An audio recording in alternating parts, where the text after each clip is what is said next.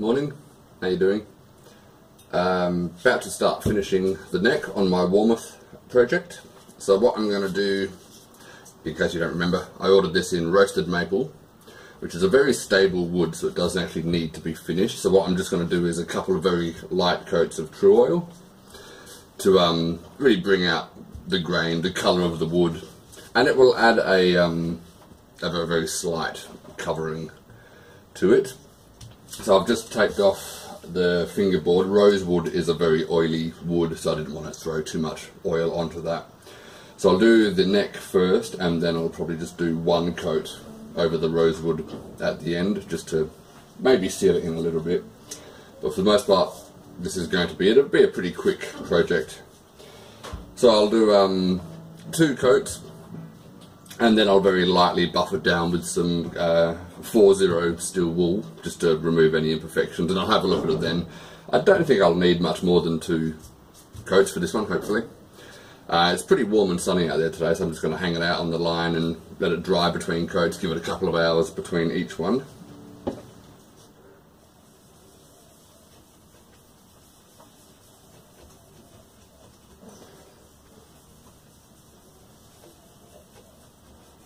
So I've just got a small amount of Tru Oil on. I've got a, just a balled up um, old t-shirt here that I've uh, cut up.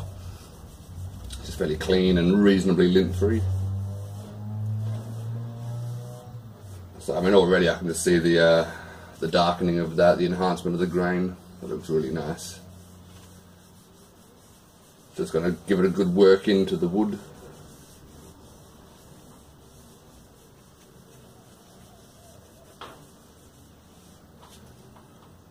Alright. Yep. Could already see the difference in that.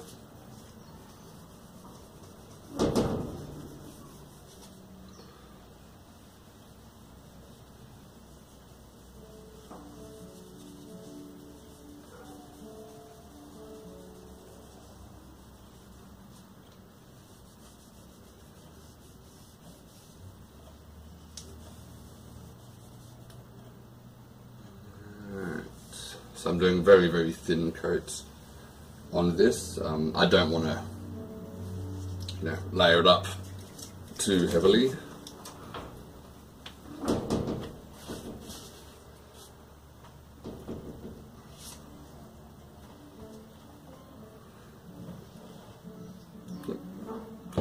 Yeah, I might have grabbed a bit too much then.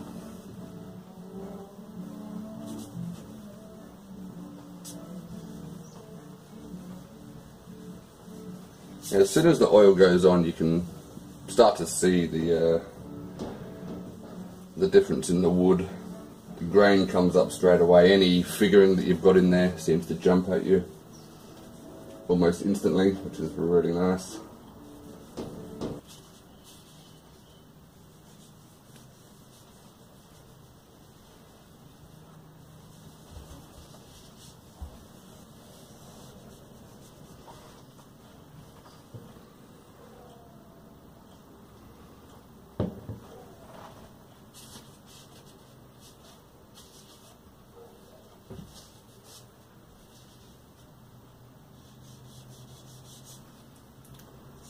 I'm just doing down the side of the heel where it will disappear into the body, but some of it will appear alongside the, the neck, so I'll just try and get that. The heel itself, where it locks into the body, I'm not going to bother oiling, I'll leave that as just raw wood.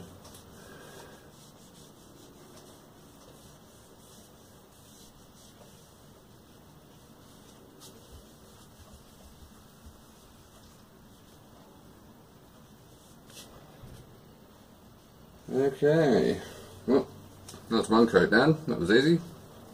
So what I'm going to do now is hang this up outside just for a couple of hours to let it dry in the sun.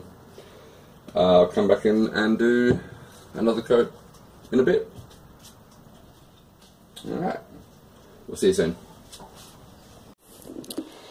How you doing? Just a quick update on what I'm doing with the body so far. Um, I have shielded the cavities with uh, conductive shielding paint, both the pickup cavities and the rear access cavity.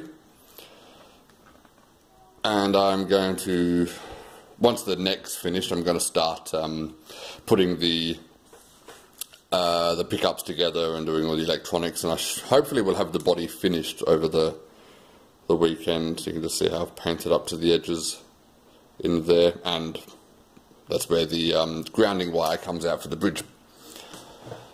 Uh, ordered a football style plate that is for my uh, my input jack around here, but it wasn't quite the right shape for the curve of the body, so I just spent this morning very lightly bending that out slightly, so that would work.